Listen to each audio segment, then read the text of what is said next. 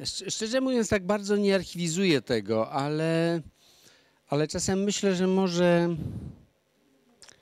nawet nie wiem, czy szkoda, tylko że po prostu. Bo oczywiście tak wiele rzeczy nam umyka, tak, tak wiele, wiele ucieka. Jeśli jest ktoś taki właśnie jak Instytut, kto robi to, trochę to za mnie,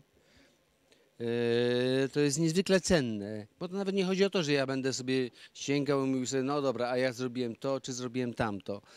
Nie chodzi, nie chodzi o jakieś takie mm, tylko wspominki, tylko o to, żeby, żeby pewne rzeczy móc e, sobie przypomnieć, nazwać i zobaczyć, jak one w rzeczywistości wyglądały, bo ta nasza pamięć jest po prostu taka, że zawsze gdzieś skręca.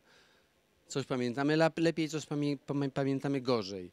Więc y, w tym wypadku ja, ja niestety nie prowadzę takiej e, w- własnej, takiego jakiegoś włas- własnego archiwum.